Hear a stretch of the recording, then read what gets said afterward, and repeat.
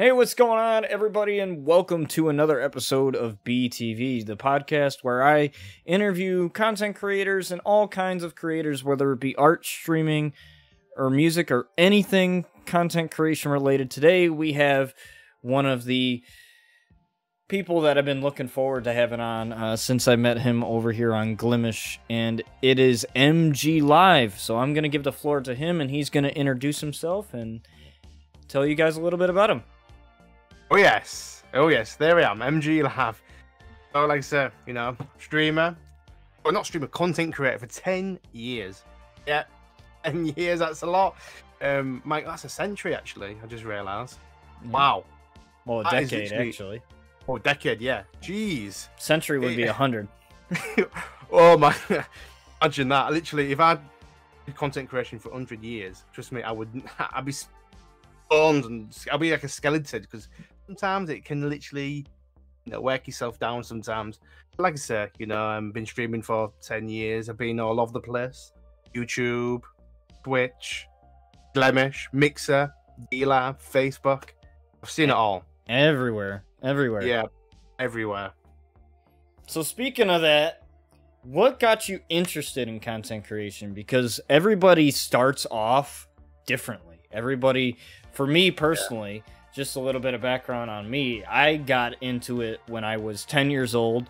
I had a shower bench that I used to shower with. I used to sit on it during the shower because I had a lot of surgeries and stuff like that. Oh. So um, I've had about under a dozen surgeries and uh, um, you know, because I didn't want to, you know, hurt myself while I was in the shower. I had a shower bench and I would stick my laptop on the shower bench and point the webcam towards the TV. That was before I had a capture card, before I had anything.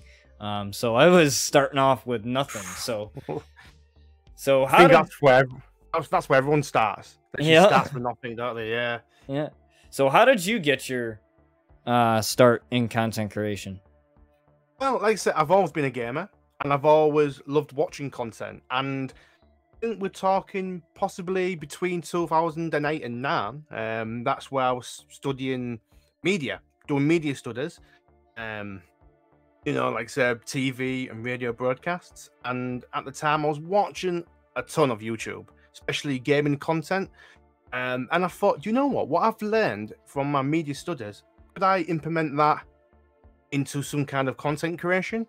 Um, so I did give it a try on YouTube for the first few months. Um, yeah, I think when you first start doing content creating, it's not the best. Let's be honest, it's not your best um, content. You know, uh, you're a bit rusty.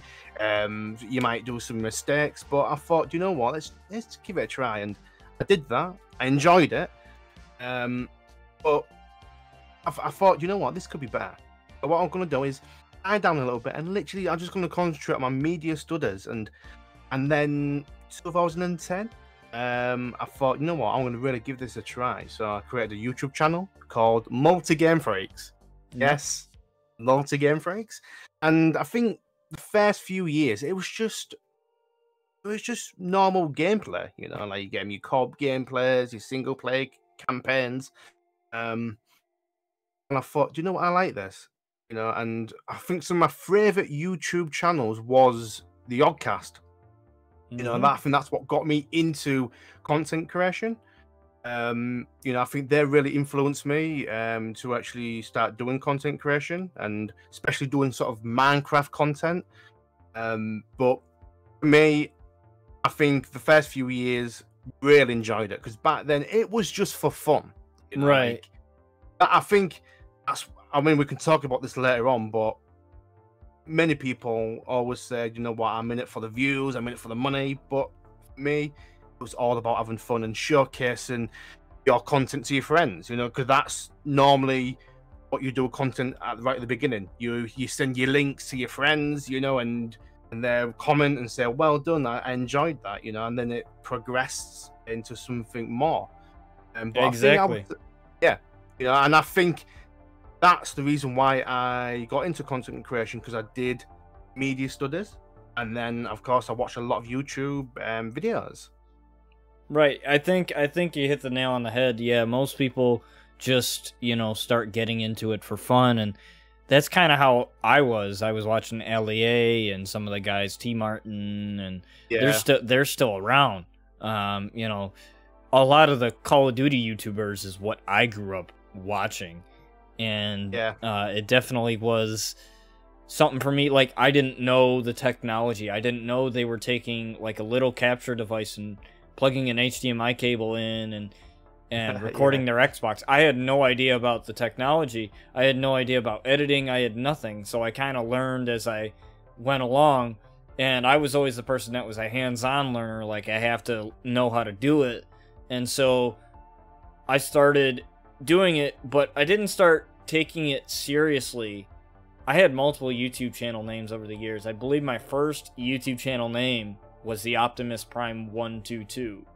And Ooh, like you that. know that was my first channel name and it was random videos it wasn't gaming content it was just random content that i was just spewing out there because i didn't know uh, at the time i didn't know what made good content and what didn't and and all that and then fast forward to 2018 um so like years later uh you know, fast forward to that, and that's when I started RCW, um, which is the, the wrestling promotion, the wrestling type of content uh, that I have out on my channel um, on the YouTubes, and this is pretty much primarily what I do on Glimesh, uh, Yeah. you know, and stuff like that. And that was originally only going to last two seasons. Fast forward a couple years later, and we're at 12, 13 now. So Wow. you know that's and i think part of that is because of the fact that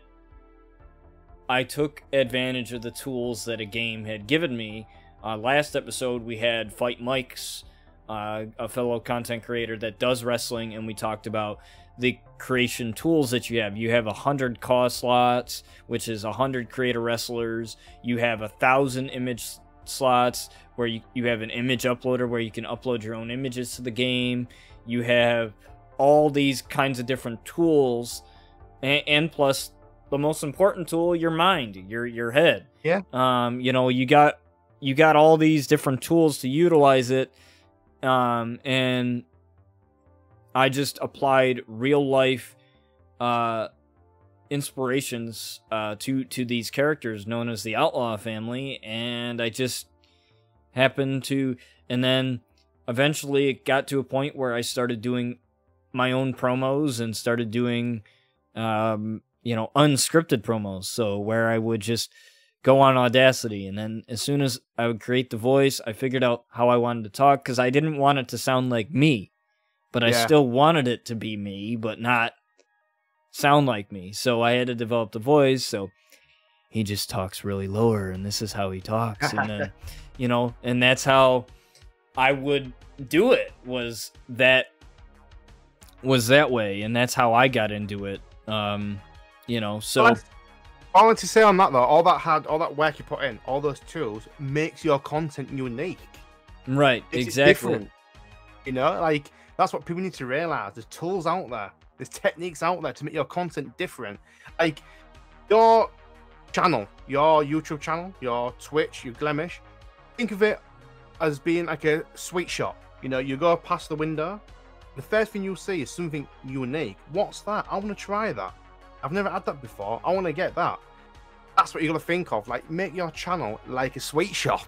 right And I do love sweets, but that's what I think you've got to try to base your content around. You know, like it's got to be different. It's got to be unique. And like I say, your yours is unique, and that, that's what's important. You know, like you don't want to be exact same as many other thousands of content creators out there. You're right literally just going to be lost in the crowd. that and wrestling within itself is already a niche community. It's not like Yeah. Fortnite or Call of Duty that's uh, established. And uh, Fight Mikes and I had talked about that on the previous episode, which you can catch all the episodes here on Glimesh live as well on Spotify and Apple Podcasts as well, and um, YouTube as well. My YouTube channel too also has another version, so you have three different ways that you can listen or watch the podcast here.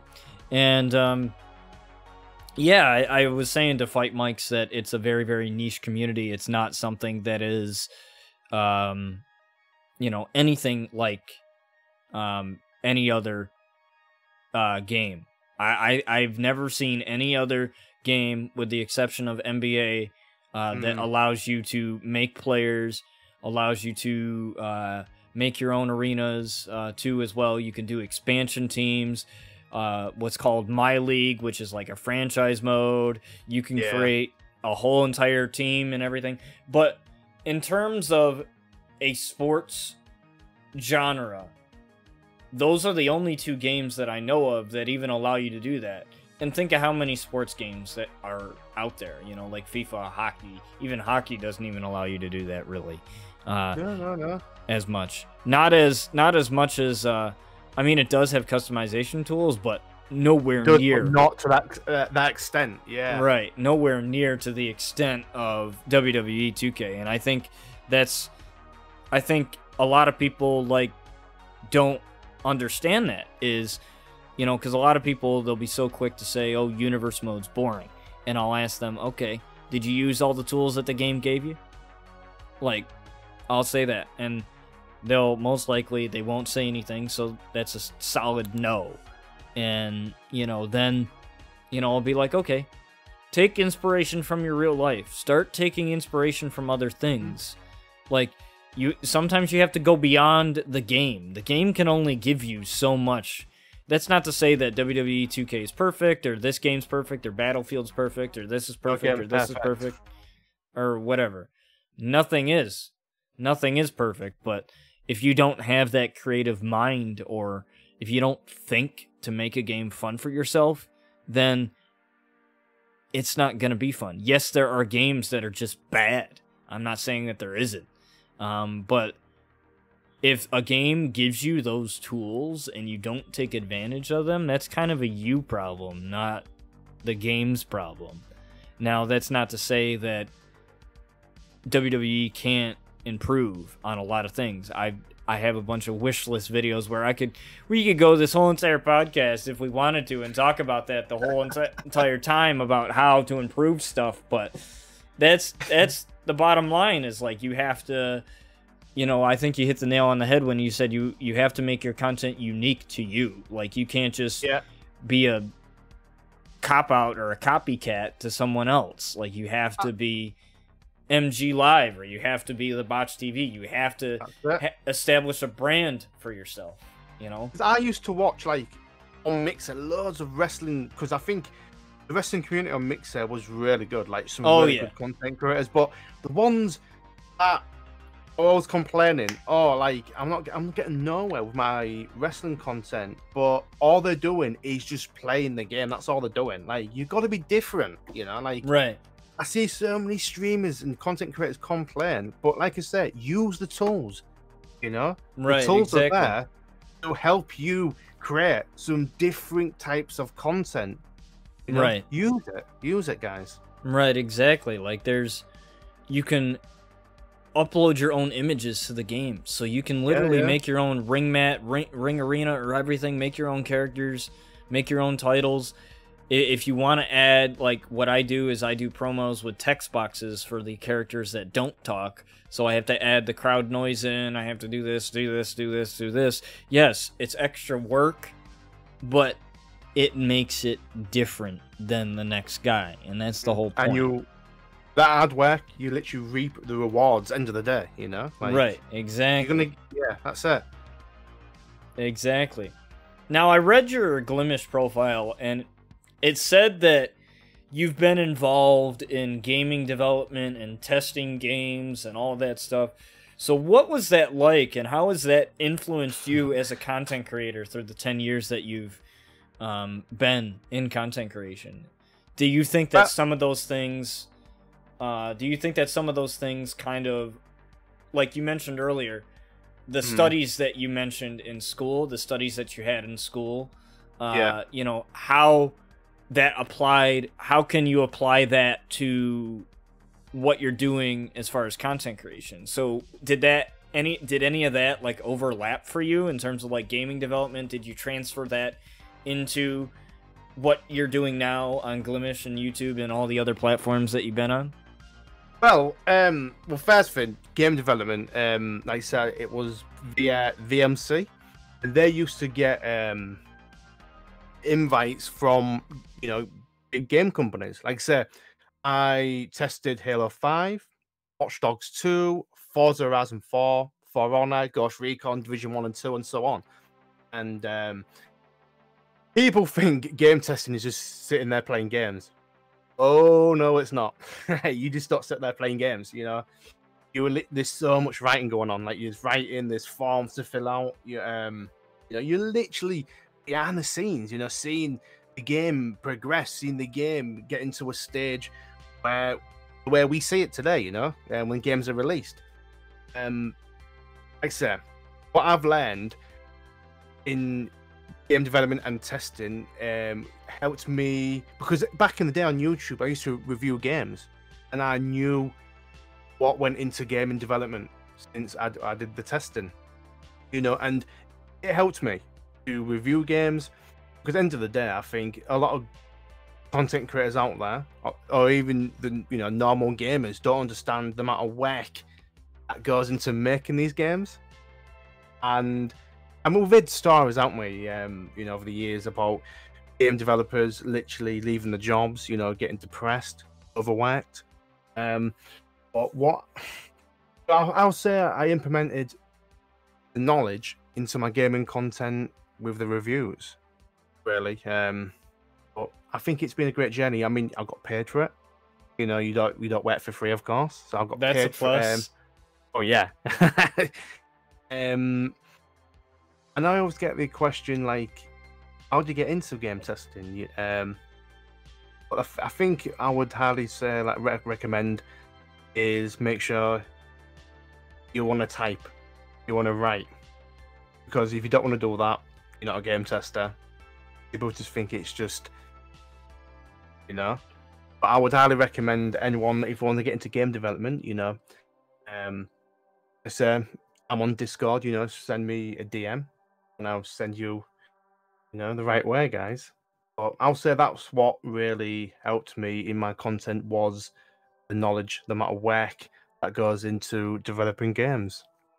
Yeah, because I've noticed. Um, I don't know if you feel this way too, and this is not to throw any type of gaming journalist type of company under the bus or anything, but Mm, a lot of those people I feel aren't like real gamers because they're just people that play a game for an hour and it's like Yeah. they base their review off of the hour that they played or off of the 45 minutes that they played. And it's like you have to play a little bit more than that with some games. Like minecraft you can probably get away with it because minecraft there's not much to do in minecraft. There's not much to it. But like a like an adventure game or you know something that has a little bit more to it like you can't just play it for an hour and expect to get everything like the meat and potatoes and the dessert right out of it like you have to get like you have to play a few hours like not just an hour and then totally base your gaming experience off of that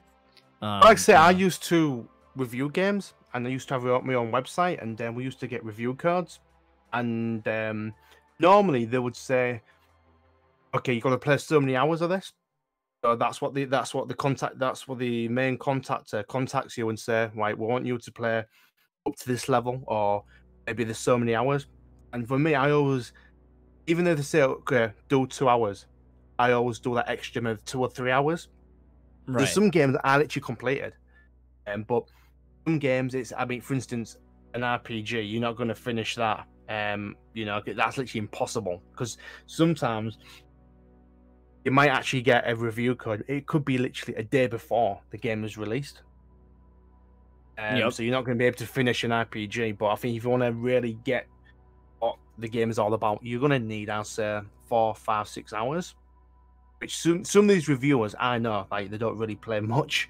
right Maybe even probably a half an hour. Some of them. Um, but I know what you're getting at there. You know, like I mean, I'm not going to name names or websites, but you can just tell that they haven't really played the game much. Right. And I mean it, it's it's a different experience for everybody. Some people can play a couple hours of a game and get the gist of it, but it also depends on the game. Um Yeah. you know, like if it's a Madden or WWE. Like Mm. WWE on the surface. If you don't use the image uploader, if you don't use all those tools, if you just play it for a wrestling game, it's literally a wrestling simulation game.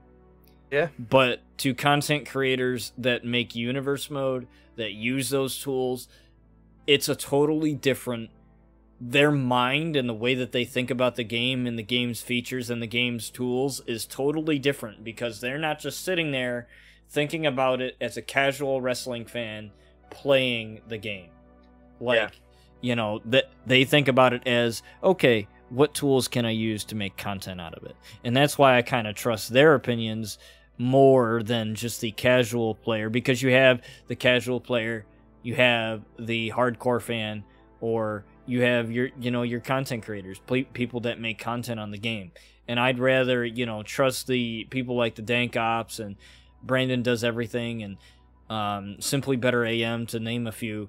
The guys that have been doing wrestling content for a long time, and I'd rather trust their opinions because they're the ones that are making content on the game that that for hours, for hours, and they're the Mm. ones that do it full time. So that's totally different than you know just a casual wrestling fan that's just sitting there playing a wrestling match for a little bit with his friends. And that's not to before anybody, you know, attacks me or whatever, that's not to bash casual players. I think every player has their place in a gaming community. But that's but that's just my opinion on it when people are like, "Oh, this is crap," or "This is crap," or "This is crap," or "This is crap," or whatever. It's like you can have your opinion, but question is, like, what opinion is going to be more valuable remains subjective. And to me, that having that opinion of content creators, those people that are going to make do the stuff that I do, like Mm. th- that's why when I review stuff or when I do wish lists, I think of it in that way and I put a disclaimer in the video like this is how I'm going to grade it or this is how I'm going to think of it. Like I'm not thinking of this as a casual player that's just putting on a wrestling game just to play it. I'm thinking of it as somebody who wants to make their own wrestling promotion, who wants their own championships, who wants their own wrestling show. That's how I'm going to think of it. And And to your viewers, can I just say something, guys? You've got to check out his content.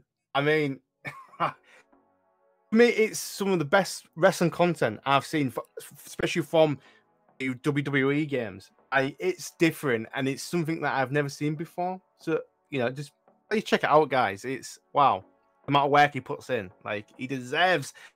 I mean, he deserves the likes. He deserves the subs. You know. Um. Yeah. well, thanks, man. Thanks for uh, boosting my ego even further. But No, man, you deserve it, man. You you you deserve it. You know, like I've over the years, I've seen so many content creators put so much work into it, but just don't get the credit. You know, and it is upsetting. It Yeah. is really upsetting because literally you put that amount of work into it, and then you're not getting the credit, and literally could affect your mental health. Thinking, I'm putting all this work into it, but I'm not getting no credit. I'm getting no reward. Do whatever, just whatever that Like what? reward is. Well, I think for me, rewards for me is about making people smile, making people, you know, I mean, they might have had an hard day at work. You know, if they come home and watch your content, you made them smile, you made them feeling better for themselves. You know, I think that's what Right. for me content should be all about. You know, Right, exactly. For me, the most rewarding thing is when you, is when you know you've been in my position where you've met wrestlers. Um, I've met the Butcher and the Blade twice. wow, wow, Um, I've met Allie twice. Um, I've met Chris Jericho one time. Um, Yeah. I got to talk to him, which was awesome. I met Mick Foley. Um, oh, what I- a legend! uh, yeah. Um, I met Jerry the King Lawler. I met him. I met Dar- Darby Allin um, from AEW. I've met Sammy Guevara from AEW. I've met Santana and Ortiz, Orange Cassidy, Kris Statlander. Um, who else did I? Who else did I meet? Uh, trying to think who else. Who else? Who else? Who else? I know I met other more people. Um, I've I had Deonna Purrazzo um, from Impact sign something for me. And speaking of which, going to Bound for Glory, that's going to be a fun time. um, in a few weeks. Actually, it's gonna be awesome. I'm excited to do that. Um, I've talked to Rosemary from Impact, uh, Cody Deaner from Impact. Um, you know, and it's honestly, people ask how do you get these opportunities? Of course, I have to have the money to go and meet these people, but also, I'm a fan, and when people, that's the thing, people in a field that you want to get into, or regardless mm. of what it is, they yeah. they see they see the passion within you. They know that they know that you are passionate about what you um about what you do, and they know that you're not that average fan. I met Sting. Um, oh wow! I met him wow. too, and just to hear him say, "Well, um, it's nice of you to go back and watch the things before your time," because I would go back and I would watch you know, him at Starcade 97. I was born in 99, yeah. so that was before my time. And I would go back and I would watch, you know, those things. And he's like, the fact that you even do that shows that you are a true fan because you'll go back and watch stuff that that you're too young to remember or you weren't even alive um to to remember these things but i res- I respect that though like not a passion that that determination to make something out of it. Like I think that's for people that that's that's a lot of for me respect because wow, like you don't get really many content creators or people that are passionate about something put that amount of effort. You know, like you've met mm-hmm. your favorite superstars, you've met your heroes. You know, you've talked to them like. You're actually going out there, you know, trying to make something out of it. And I think, you know, GG for that man. Like, you know. I did meet uh, I did meet Kevin Owens too. I met him too. Um, so that was that was fun. I still got the video of it too. Oh, um, oh wow! Of the video chat him and I had.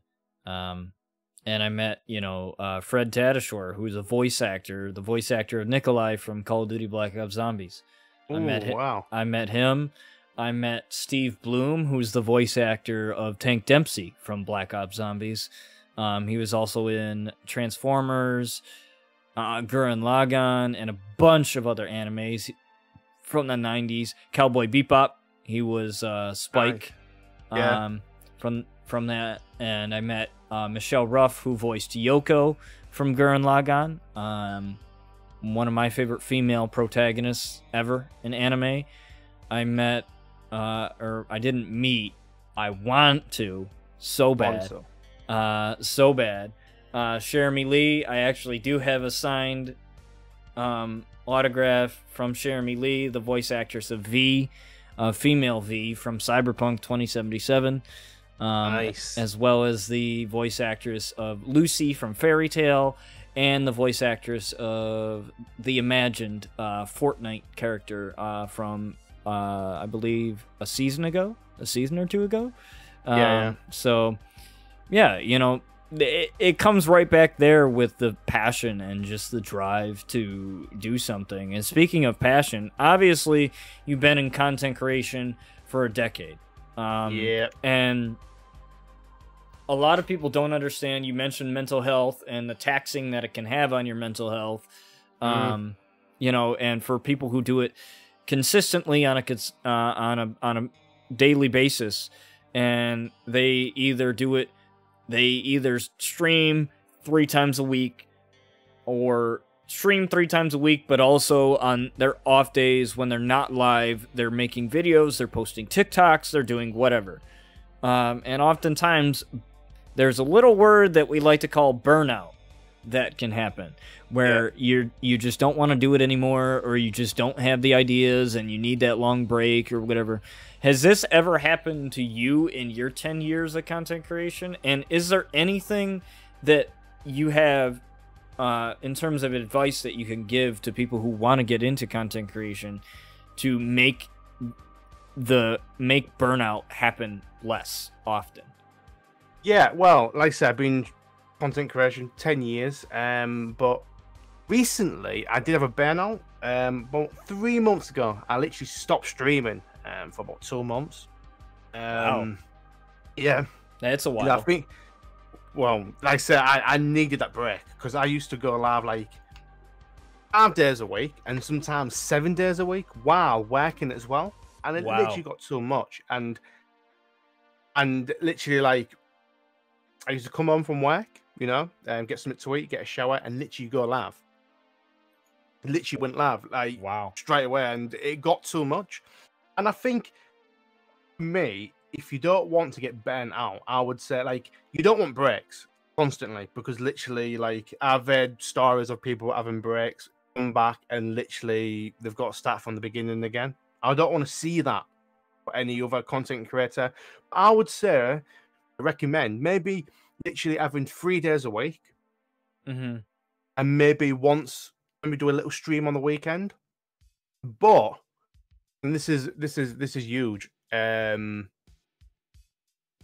times, you know, Mhm. um, a, a- a schedule. I Of would course. say, would you get rid of schedules? For me, I would. Literally, that's another pressure because I used to get home from work and saying, "Oh crap, I've got to literally go live literally within an hour. I've got to do this and do that." That puts a lot of mental strength on Yep. top. Saying, "Okay, am I going to be able to make this stream? I'm going to, I will, I will make this stream, but it's too much." So I would say get rid of um, schedules. Mm-hmm. You don't need them. I don't think you need schedules.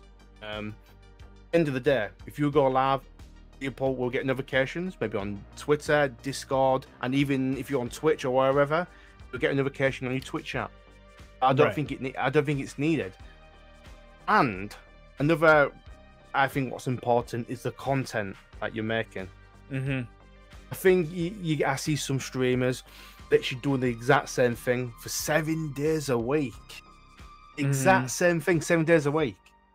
You know, like it's like watching um I know some kind of um TV program. Imagine watching that every single day. Unless you really like it, like you know, that's that's Yeah, another yeah, thing. But yeah, yeah. I, get that, I but- get your point though. But in terms of content creation, I think sometimes it's important maybe just have a little. Okay, okay, what if you, you do your main content maybe Monday, Wednesday, and Friday, and maybe on there between the Tuesday and a Thursday? I know I, I did say maybe stream like three days a week. If you Mhm. want to stream five days a week, and two of those days, do something different, do something fun, maybe little party games, you know. Right. Um, I think because, like I said, I used to be a well, I am sort of like a Battlefield streamer. I stream a lot of Battlefield, and I used to do that five, six, seven days a week. I love Battlefield, but there's only so much you can actually enjoy that making content. right. you I think I think for me, uh, for the wrestling, is that with the way that I do it anyway, um, you know, with creating the stories of these characters, taking these characters that have absolutely nothing other than a name, and Yeah. making and making their stories, and constantly thinking of stuff that's different. Like even though I have Rise, RCW Rise on Mondays, RCW uh, the regular show on Wednesdays, RCW Dusk on Fridays. Each show is different in its own way, that's and it. and Mm. I think I think for me it's having two pay-per-views a season with 20 episodes a season and having that schedule. And even then, I took a week off from streaming this week. I, I didn't really stream this week, but I recorded stuff.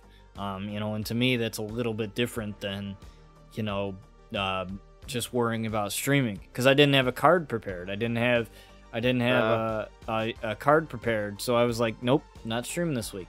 Take some time, record some stuff, and even and even then, like, I take after let's say the tenth episode, it's like a mid-season finale, which is the first pay-per-view of a season, Yeah. and and then I take a week break from RCW. I don't do anything. That doesn't mean I don't stream at all. That just means I don't stream that particular content for a week so that I can so that people that haven't watched it can catch up on my YouTube channel. They can catch up like it's almost like Netflix. They can catch up on stuff and be done and be ready. Um, you know, for the next episode. Um, but even then I really just think it's branching out to other games, like using other games to expand the wrestling universe, like with my WNBA. Yeah, like yeah, yeah, that's what I'm gonna say. Like you use, you know, your um, basketball. You've even done Um, Cyberpunk. Yeah. I mean, wow, like the amount of ideas you've got in that brain, like yeah. I'm I'm surprised the scientists are not out there right now thinking, do not we want that botcher's brain? We need his brain. Yep. And it's weird because the cyberpunk idea actually just came out of nowhere, really. Um originally I was just going to do it with my voice where Brian Outlaw talks. yeah. But then I saw this video that somebody did where they took all of the lines from the game and put it into a video. And I was like, MP3 convert that. MP3 convert it. It's it's hours and hours of lines, so I have to look through hours and hours of lines, and then I have to choose what lines. So like, for example, um, V, um, I love Cherami Leigh so much that I chose her as the character uh, that I wanted to speak to first. So he meet basically the story goes, um, it it intertwines with uh, 2K19. So this goes all the way back to 2K19. Um, Yeah. We're at 2K22 now, for those that aren't uh, familiar with the timeline. Um, but this series goes back to 2K19, in which the Fiend, Bray Wyatt, um, possesses Sky Outlaws, kind of like. And by the way, for those of you that are updated on WWE, I came up with that idea before Alexa did it. wow. So before Alexa did it, it was my idea. Your brain. Like, amazing brain. like, it w- and not to discredit Alexa, absolutely, she absolutely killed that character. Um, absolutely killed it. Um, but I came up with that idea before even that idea existed. Um, for Alexa Bliss, and so basically, she gets possessed by the fiend. Sky gets possessed by the fiend, and then um, after a while, she gets out of the possession of the fiend. But then she starts seeing visions of herself in the future as a corpo agent, which is a corpo is one of the career paths that you can take in Cyberpunk, where you work for the government and you're and you go rogue, and um, you know you're, and obviously it is. Let's see, 2077. That's that would make me 70 something years old. Um, Wow. You know, Jeez. In in in by the time I by the time 2077 comes around, I'll be 70 something. Um, and all the outlaws, all the characters in my universe have ages. All of them are certain are of a certain age, and Sky is 20 years old, so that would mean that she's probably like 72 at that point.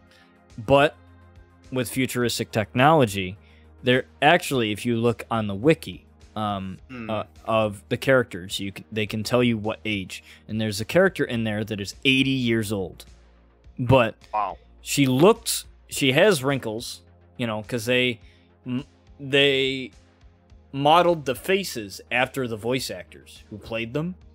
Um, so Keanu Reeves is in the game as Johnny Silverhand, so his face is Johnny Silverhand's face. Um, Yeah. But the character in the game is 80 something years old. V is actually, I think, like 30 something um, in, in the game, which Cherami Leigh is like 31, I think, in real life. Um, so it makes sense. But Sky is 20 years old, and so basically, how this ties into the series is Sky is, um, there's technology that makes her young for forever.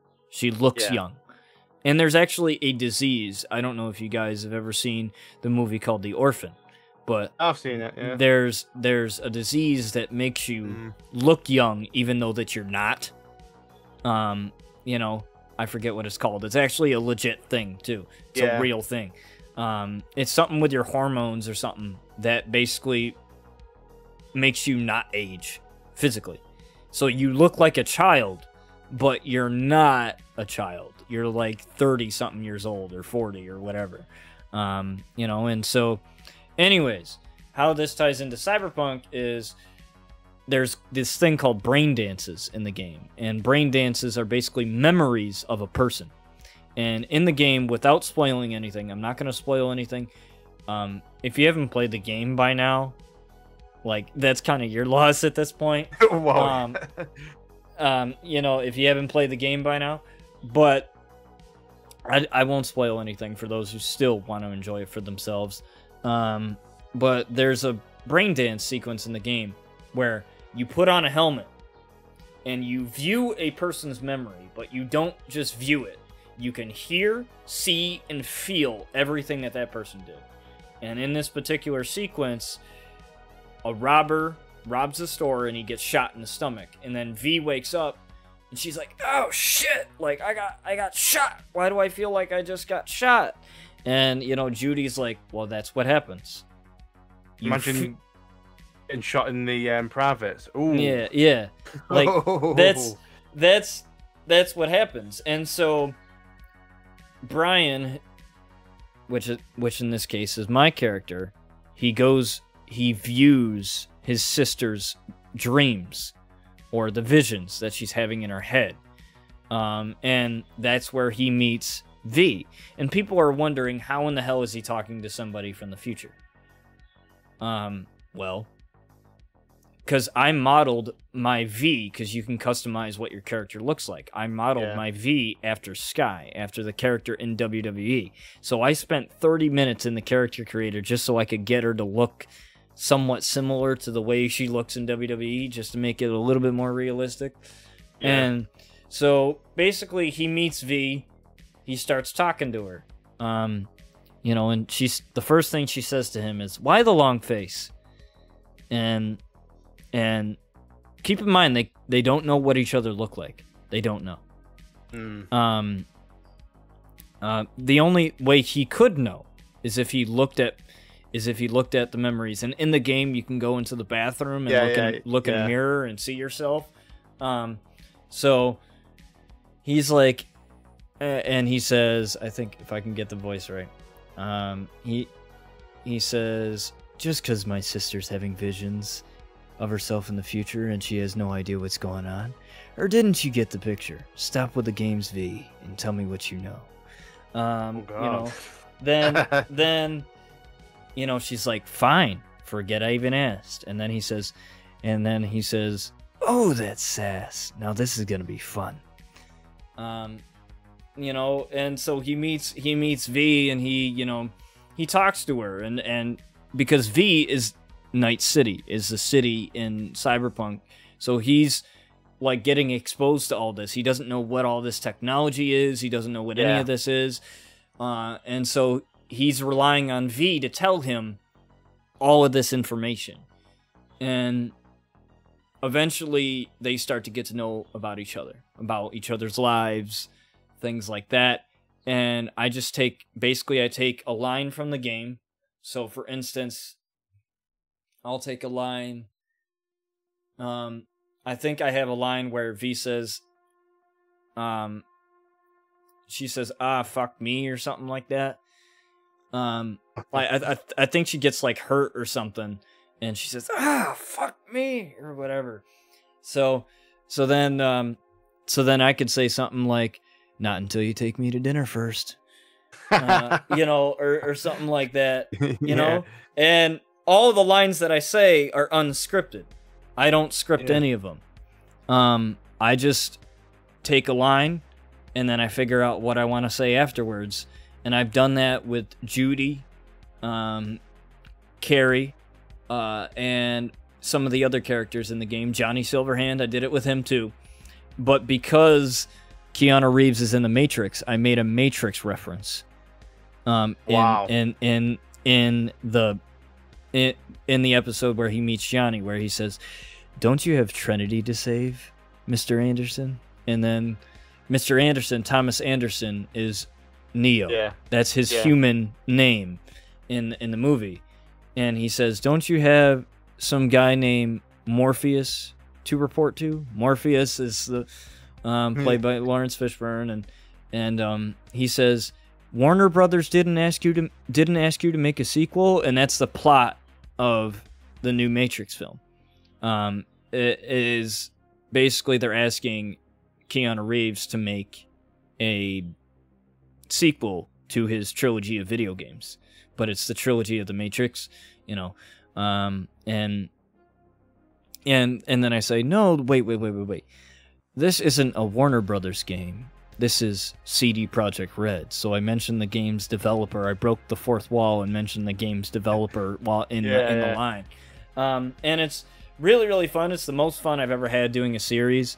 Um, it, it's just because originally V wasn't supposed to be a part of that, or none of the characters were.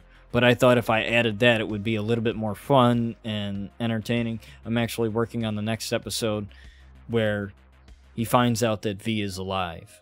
Um, because in in the previous in the previous episode, couple previous episodes, a little bit of a spoiler for those who haven't seen it, but um, V has a conversation with Brian Outlaw, and she talks about how she's gonna die because the whole premise of the game is V, her personality is being taken over by Johnny's. Um, his Yeah. person his personality construct is inside her head, and she's the only one that can hear him or see him. And she knows that who she is as a person is going to cease to exist because Johnny's going to take over her body. And the whole idea of the game is to there's multiple endings of the game, but the whole idea of, her is her trying to get her body back and her trying to live again. Um, you know, and so she's basically like, I took a line from the game where she finds out that she's gonna die. And she's like, if you can't help me, what the hell do I do? And then Brian says, well, we have to wait. Um, you know, death comes comes for us anyway. And You know what, then- Botch? I think you should get yourself. You should get yourself into the movie business. I think that's yeah, what you need to do. You know I- what I mean? Make I that money. could. You know.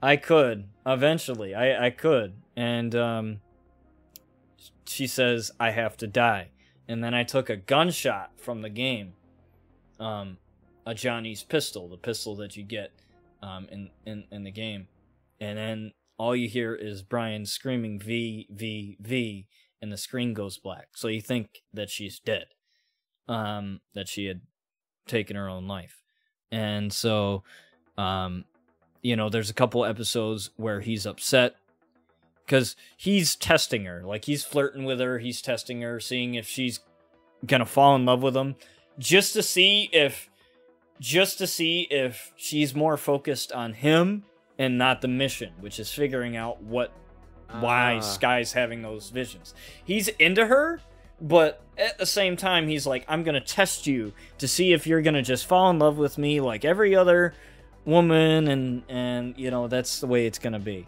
Um, and you know, and V kind of sees that. She tests him too.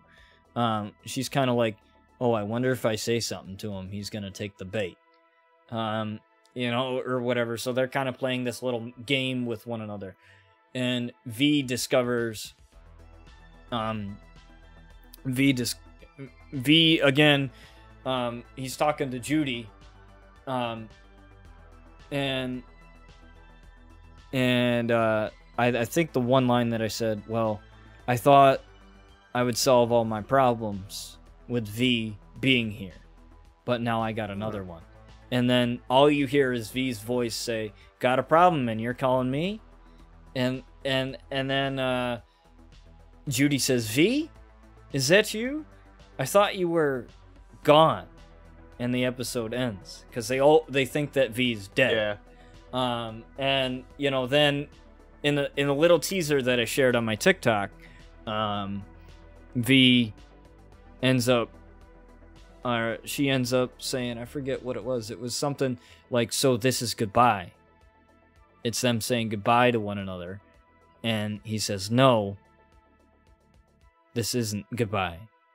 Because the DLC for Cyberpunk's coming out next year. Phantom Liberty is the name of the DLC, and in the trailer, V takes an oath to the United States of America, and and you know, Johnny's like, "You took that oath, bad idea," and you know, so I took that part of the line and I said, "You took an oath, remember?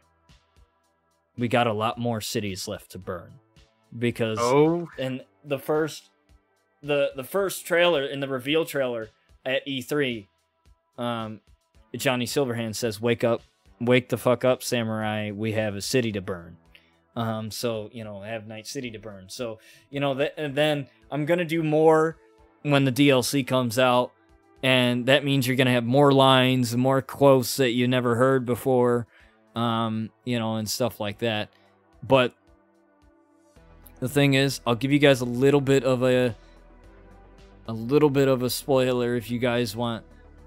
Oh, here we go, guys. Here we go. Get ready. Tur- turns out, all it is is just Sky's learning a lesson. Like, Ah. It, it's all it's all dreams. It's all it's it's not real. It's all you know dreams of of her learning a lesson about life, and you'll find out what that lesson is, um, in the next episode. I'll tell you guys, um, what that lesson is. Uh, so you'll find out what that is. But yeah, that's pretty much, um, yeah, you know, figuring out ways to be unique um, with that discussion. You know, obviously, Yeah. talking about the cyberpunk and stuff. Um, you know, it's it's figuring out ways to be unique and figuring out ways that work. And and speaking of, you know, Twitch, I know that we talked about Twitch and everything else. I've talked about uh, in the very first episode, I had Shorecat on, and I was talking with him about the downfall of Twitch and the downfall of Mixer, and seeing all these platforms. And now Trovo seems to be going down uh, a not so good path either. Um, but what do you think is the biggest problem with video content platforms like YouTube and Twitch today that probably could turn some people away from even trying content creation? Like, let's say you know somebody's just trying trying to get out with uh, with uh, content creation, trying to start, and they want to start streaming, but now there's people getting swatted. There's lack of TOS enforcement. There's unjust unjustified bans coming out or whatever. Um, we obviously mentioned the hot tub streams and the OnlyFans Mm. 2.0 and everything else. So, what do you think is the biggest issue uh, on these platforms? Do you think it's some people say it's discoverability, some people say it's TOS, some people say it's a combination of things. But what do you think is the biggest issue that is turning that may turn some people away from even wanting to start streaming or a YouTube channel, for instance? I think, right, first thing, let's, let's go back to the beginning. I think all this started once streamers, the big streamers, started making big lots of money. Yeah, That's where all, all this is where it's all started from, and people trying to be that next big thing, you know. right. And then people saying, you know what, I want to get there. I want to literally get a fast track to the top. This is why you start seeing some of these hot tub streams, some of this other sort of sexual content that's on there. And why would you want to be associated with that type of content? You know, that sometimes can put people off from making content that's out there. Yeah, You know, and- And I think there's a lot of I think there's too much focus on money, you know, in in content creation, you know, and um, I think if you want to start, you want to start like having fun, you know, playing your best games, etc. You know, and um, it is a topic that's been going on for for so many years about Twitch. You know, like what's their overall plan? You know, what's their goal of you know for Twitch? You know, is right. it by the looks of it, you know, they just want to make as much money as possible, you know. Any Doesn't what- business wants to do that. I mean, that's kind of the I- whole goal. I agree with that, but if it comes at um like I said, like there's a lot of kids that's watching this type of content on Twitch, this sort of like half sort of nudity um content. You know, there's parents out there not knowing what their children are watching. You know, they're thinking, oh, they're watching Twitch. Twitch is where you just watch people play video games. Which a lot of it is not. You know, we've seen different types of content on there that should not belong on Twitch. You know, like there's other For places sure. out there for that. You know, and um, but in terms of people trying to get into content creation, is there's different ways you can go around it. You know, like I said, we talked about nudity. You're competing against those type of streamers, but also it's competition. You know, Right. like you try to compete, you try to be sort of unique. That that's what we've been saying earlier. You know, bit try to be unique, but people probably not willing to put that back into it. That amount of dedication. right. You know, which can put people off. yeah. Like And I, also, I feel like it's the work ethic. Like part Yeah. of it's like part of it's just like the um the like people are like, "Oh, you know, oh, it's like I mentioned to you earlier about what um people saying, "Oh, universe mode is boring." Uh we're not creative like you, so universe mode is boring. It's like, well, Yeah. if you're not using the tools that a game gives you, whose fault's that? Like that's it. like you know like that's that's that's the big thing about it is you have to take advantage of the tools and and i do agree that you know i feel like it leaves like a bad thought in someone when you know people are starting to lose the focus of having fun and more the focus of you know how can i make money off of this and problem. I will say, I will just be the first one to say, sex does sell, um, and it does. Um, Mhm. uh, there's a term called fan service. I'm pretty sure most of y'all have heard of that term, where it's a scene in a movie that adds nothing to the plot, it or anything else. It's just there for the sake of making fans happy. Um, like a fight scene or a, a love or a sex scene in a in a show or something like that. Um, you know, or whatever. Now, to each their own, make the content that you want to make. But I, I feel like there comes to a point where it's like, okay, yeah, I understand that parents need to be responsible with what their kids are consuming. But at some point, you have to trust your kid to Yeah. not consume that stuff. And plus, as a platform, you are responsible for what gets promoted on your Mm. site. You are because you're the Yeah. one paying for those ads. You're the one paying for all the all that stuff. You're the one putting. I I'm not sure who puts what on the front page, but I know that uh, Shorecat had mentioned you know the concern that he has for younger eyes for his nephews, like um, hot tub streams with half naked women in them. Um, Yeah. you know, and and and and let's say you know some 10 year old kid named johnny comes across that you know thing and there's no barrier there's no like i know that youtube has an age restriction barrier i know that they have uh Glimesh has a mature label that you can put on your stream um you know certain things like that but there's only tags that you can do on twitch i i correct me if I'm wrong, but I don't think there is any type of barrier preventing somebody from watching somebody stream unless they're, you know, uh, I I I don't think there is. Don't Uh, is. Uh, I I I don't think there is. Like it, and like I remember when it's like when you go and you buy a rated M game, you you have to show ID or Yeah. whatever, or a parent has to say, "Is it okay for your kid to play this?" Um, that type of thing, and and honestly, kids are gonna get exposed to things that they shouldn't be exposed to because they're kids. They're curious, you know. They're gonna, but at the and, and at the same time, parents need to take over. Um, you know, they need to know what their kids are watching, know what their kids are being exposed to. But I also think that that doesn't negate the role that a platform has in promoting that type of content.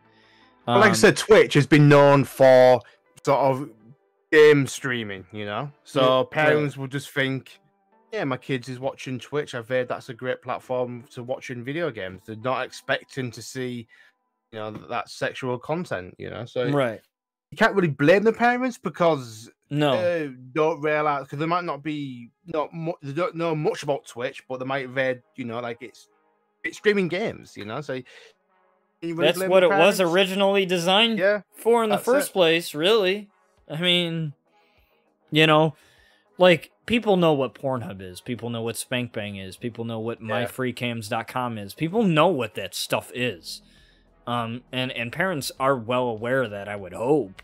Um in this generation, I would hope, but you know, that that's totally different. Um you know, and I I think you hit the nail on the head there when you mentioned that yeah, I'm not going to blame the parents completely because maybe they're not well aware of they look at Twitch cuz Twitch is primarily, you know, focused on gaming.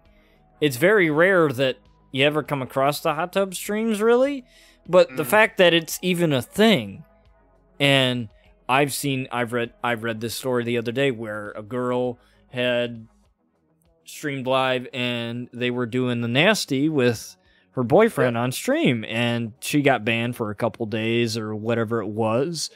Um and um you know um and, and and it was just one of those things where I'm like all right. Um but you know I had read that my friend had gotten banned for something that uh it was deemed to be sexual content and when I said what did you and I was in a Discord with him. We we somebody made a joke here and there. I don't know what it was, but Yeah. but the grand scheme of things was he got banned for something that I felt wasn't justified for something like that. Like, I mean, if you're gonna ban somebody for, you know, that, I understand if somebody's being sexist, racist, or any of those things. That's totally against TOS. That that that that right there. Um, I I I don't like it. Nobody would like it. But come on, you're in a Discord call with your friends and you're joking around. Somebody's gonna say something, and if and if and if everyone got banned for every little thing that they said, you know, nobody would be on the platform anymore. Um, so you know, there comes to that fine line of where you got to find that fine line of this is okay, this is not okay. And I think that's the difficulty there is, you know, when you have um, a girl that's claiming to do ASMR, but she's sucking off a microphone, or Yeah. you know something like that. You know, and and and and it's blatantly right in front of your face too. It's not implied. It's not one of those sexually implied things. It's literally there, and and it's like even as an adult I don't want to see that. And everybody's like, don't watch it. You know what Okay. sad thing about this? When you go on Twitter and you mention the word Twitch, the first thing people say is, "Oh, that's sexual site." Know, I think it's sad because I remember when Twitch used to be Justin TV when it first started, and then it, then Amazon bought it, and it was just pure gaming. You know, it was yeah. I enjoyed the community back then. You know, there's none of this sort of like fighting against each other, not nothing about oh, I want to make as much money as possible, or I'll do anything on stream to get to the top. You know, it was nothing about that. It was about community, and we've lost that. You know, we've completely lost that. And and the thing about this is, like, I've seen sort of something similar on other platforms. You know, like on Right. on DLive, even on Facebook Gaming, on YouTube.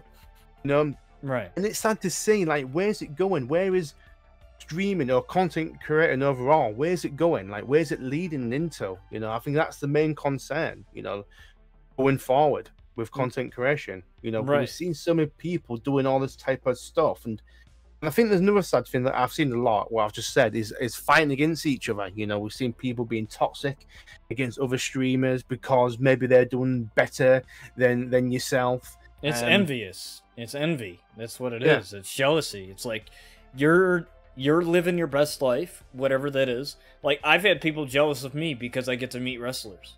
There are people Mm. that'll say, "Oh, the only reason why you've met them is because you're disabled or because you have a disability, and they pity you and they feel sorry for you and stuff like that." And people try to make me feel like shit because of my, you know, accomplishments. And it's like, no, that's that's not cool. Yeah. Like, you know, you're making someone feel like shit because they're successful because you're not as successful as they are. You know, that that's that's, that's just petty and that's dumb, but that's the unfortunate thing with the internet. And that kind of leads me to a more positive question. Um which is a lot of people talk about what they look for in a content creator. We talked about unique content and everything else. Um, so this is kind of like a three-parter question. So the first part is what makes you want to follow another content creator? Like what is that defining factor? Like everybody's like, "Oh, they have to have the personality. It's a combination of this." Um, or it's a combination of the game that they're playing or whatever. And also, the second part is why do you think people should follow you? And Yeah. the third part of that is what are your thoughts on the whole follow for follow thing and why do you think it doesn't work or why do you think it paints the wrong type of message and how can people avoid that Well, to your first question, um, you know, like in terms of content um, creation, um, I think many people will say like, um, where, where's that? Oh, sorry, sorry, I just um got rid of the um, question bit there. Um, for me, I want to be. I look for someone who I can engage with, someone I can talk about something that I enjoy. You know, like right I don't really follow some of these big streamers because you can't have a conversation with them. no You know what I mean? Not like, likely. You can't, can't engage with them. I don't know if they was always like that. Probably not. Maybe they've changed since they've got bigger. I don't know. But I want to talk to someone, like for instance, like with you, with yourselves. Like I used to be huge into wrestling in the Attitude Era, but I know I can speak to you. I can talk about wrestling to you, and and that's what I think content creation should be about: is interacting with your community. And that's exactly why I follow certain streamers, streamers that literally talk to you like another, like like a- like a friend, like a close Right. friend, you know. And that that's that's all I like to follow. You know, someone about you know it's engagement. That's the most important thing is engagement. Yeah, and engagement can come in different types of ways too. Um, Yeah. You know, it's it's not just answering chat, but it's finding a way to keep people engaged. A lot of people, and this again, this is not to toot my own horn, but a lot of people when they watch, you know, the wrestling content that I do, and I do the commentary, and I'm doing the, the doing the play by play and the color commentary, um, especially when I'm playing the match, and then I'm doing like four things at once, like planning the next spot in the match, thus while playing the match, and trying to interact with chat while doing both commentating the play-by-play and the color, like kind of like explaining the story, plus talking about the moves and uh, and, and stuff like that. So it's it's doing that like it's having that interaction, and a lot of times I feel bad because I can't, you know, di- directly interact right away, so I might not get to somebody's message, but I'm always trying to respond. But a lot Yeah. of people, a lot of people think um, that the commentary just keeps them engaged. They feel like they're watching, uh, you know, a wrestling show at home on their big flat screen or something like that. Um, you know, and and that's and that's you know that's what I want. I want people to feel like they are actually watching a real wrestling show like WWE or AEW or whatever they happen to watch. Even if they're not into wrestling anymore, even if they don't religiously watch wrestling, if you find some type of entertainment in my thing, I feel like I'm doing my job anyway. Um, Say, yeah, know, yeah. and that's and that's and that's it. Why do you think people should follow you? Like what this is the part of the question where you Yeah. can brag about yourself as much as you want. um, you know, boost that ego up a little bit. Like oh, here you we know, go. Get ready. but like why do you think people should follow you? If you were to like like give a, a sales pitch to yourself to someone to someone and says, "Hey, follow my channel." Why do you think that they should?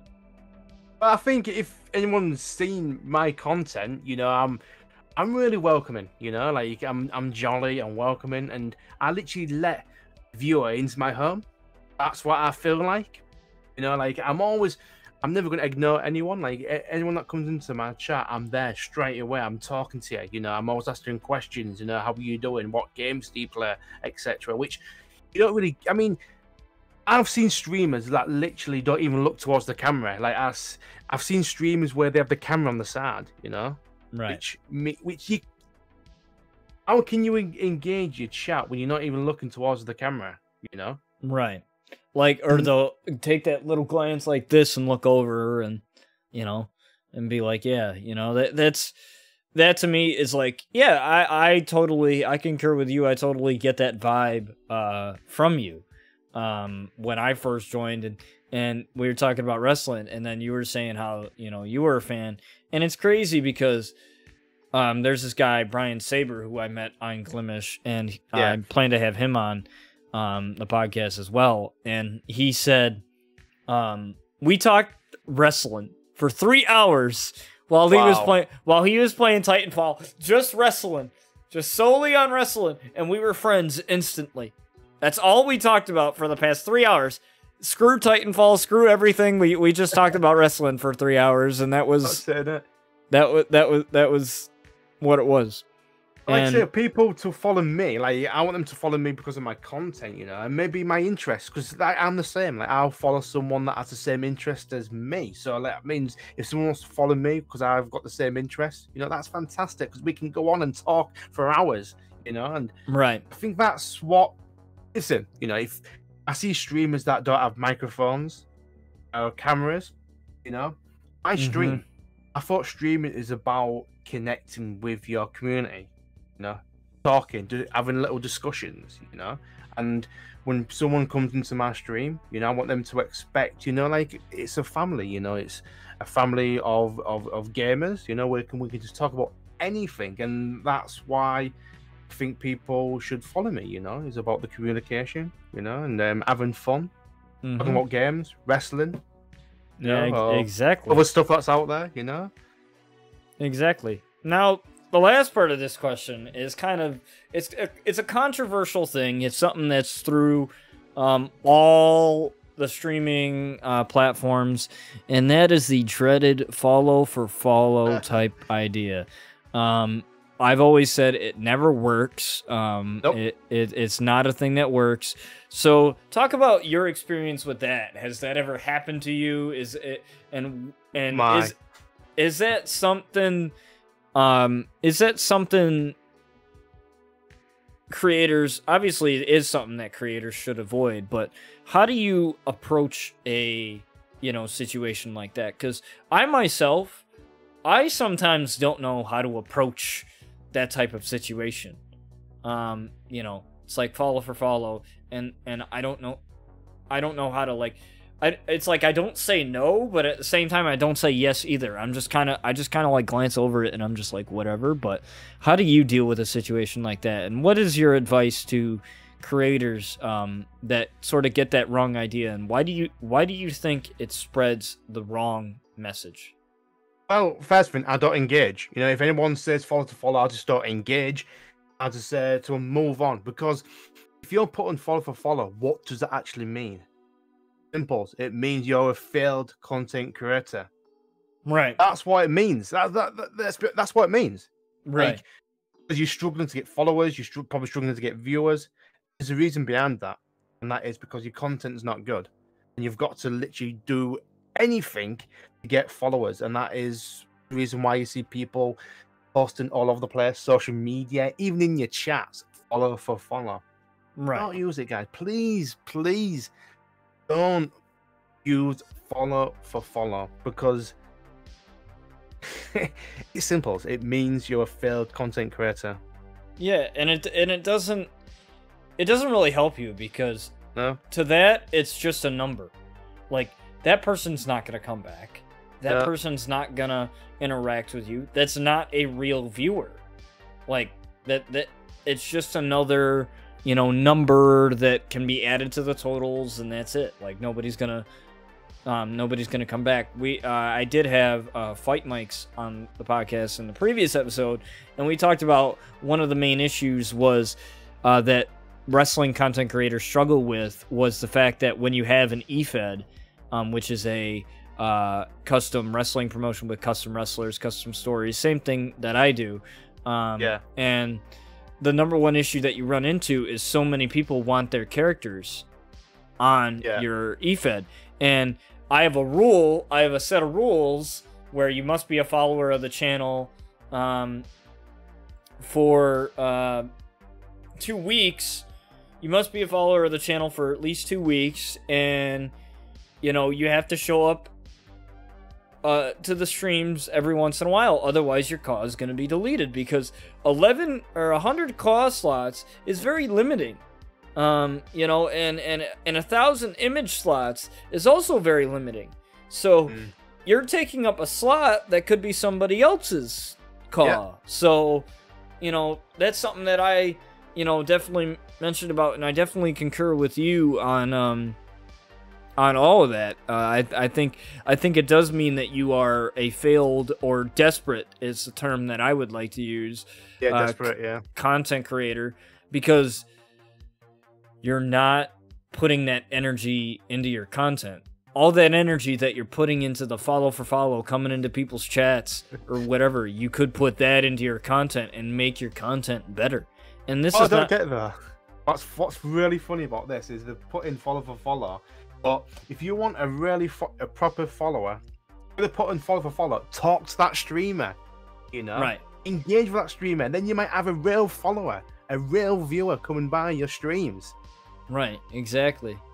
You know, it, it, it push comes to shove. Talk to the streamer like a normal person. Um, you know, engage with the streamer. Don't make it just about, oh, I'm I'm I'm a, I'm gonna just have this guy follow me and have uh, and then I hope this guy follows me back. Like, you know, and that's kind of what it is. And it's Mm. moral of the story is don't do follow for follow. It's never going to work for you. Um, just continue to work on your content. And speaking of that, um, even though I don't have this question on my sheet, this question just kind of came into my head based on the discussion that we just had, and that was, what advice do you have for anyone that wants to get into content creation with your tenure? Um, obviously, ten years content creation. That's quite a long time to be doing this. Um, most people don't even make it past two to three years. Uh, so, you know, most people quit or, you know, they, they find other things to do. Um, what is your advice to them if they wanted to just start going? I'll say don't follow the sheep. Do your own content. You know, do content that you want to do, not what others are doing. You know, Exactly. I think I I've seen so many streamers, for instance, maybe stream Fortnite because everyone's streaming Fortnite, but they don't like playing Fortnite. They're just doing it to try to actually climb the ladder, and that's the wrong way to do it. You know, enjoy your favorite games, stream them, and forget about the numbers or making money. Just have fun on stream. Exactly. You know, that's that's what that's what you got to have fun for. Um, you That's it. know, and and and that's that's pretty much it. Uh, you know, well, we thank you all for joining us for an episode of BTV. I don't know when the next episode's gonna be, but um, we have an episode with Young Youngson lined up. I have his sheet done. We just gotta figure out some stuff. There's plenty of people that I would like to have on.